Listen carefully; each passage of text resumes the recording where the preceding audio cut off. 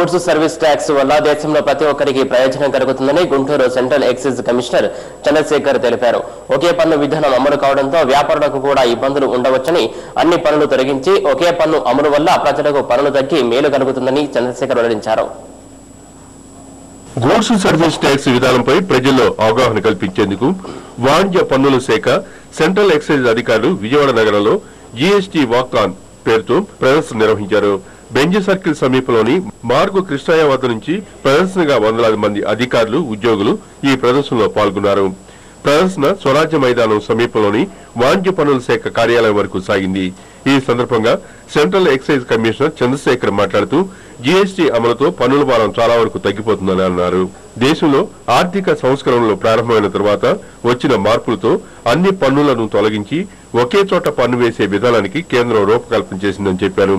ఇది వ్యాపారులకు కూడా సులువుగా ఉంటుందని తెలిపారు. ప్రజలు వ్యాపారులు జీఎస్టీ గురించి పూర్తిగా అవగాహన కల్పించుకుంటే ఎటువంటి ఇబ్బందులు రావని అన్నారు. ఈ జీఎస్టీ రావడం వల్ల ప్రజలకి చాలా బెనిఫిట్ ఉండబోతా ఉంది. ట్యాక్సులు తగ్గే అవకాశం చాలా ఎక్కువ ఉంది. అండ్ దీనివల్ల బ్లాక్ మనీ కూడా తగ్గుతుంది. డైరెక్ట్ ట్యాక్సెస్ పెరిగే ఛాన్స్ ఉంది. సో ఇది సరళీకృత విధానము. ఇండియాలో లిబరలైజేషన్ స్టార్ట్ అయిన తర్వాత ఇది one of the most important changes in tax administration and దీనివల్ల చాలా బెనిఫిట్స్ ఉండబోతా ఉంది. ట్రేడ్కి ఇండస్ట్రీకి సర్వీస్ ప్రొవైడర్స్కి అందరికీ కూడా దీనివల్ల బెనిఫిట్ ఉండబోతా ఉంది. ప్రజల్లో చాలా అపోహలు అవగా సరైన అవగాహన లేదు. ఇది ఎక్స్ట్రా అడిషనల్ ట్యాక్స్ అనుకుంటున్నారు. కాదు. ఇది కేవలము కొన్ని ఉన్న పన్నుల్ని తీసేసి ఒక పన్నుగా పెడుతున్నారు.